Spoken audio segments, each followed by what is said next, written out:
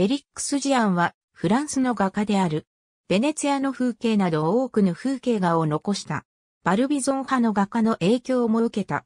コートドール県のボーヌで、ポーランド系の移民の父親と、ブルゴーニュ生まれの母親の間に生まれた。父親は、ナポレオン戦争の時、プロイセン軍の兵士で、捕虜になり、フランスに住むようになり、仕立て屋になったとされる。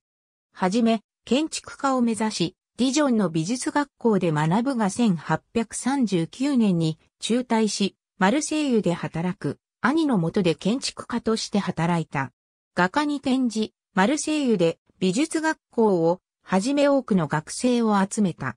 港町、マルティーグの風景を描くようになり、1841年にはイタリアを旅し、ベネツィアの風景に感銘を受けた。ニースなどで裕福な顧客に風景画を売って暮らし、1847年までイタリアや南フランス各地を旅した。1849年にパリに移り、バルビゾン派の画家、テオドール・ルソーとジャン・フランソワ・ミレーと知り合い友人になった。1849年のパリのサロンに初めて出展して、その後出展を続けた。1859年にモンマルトルに住むようになったが、しばしばバルビゾンを訪れた。1880年にニースにもアトリエを開き、多くの期間をニースで過ごした。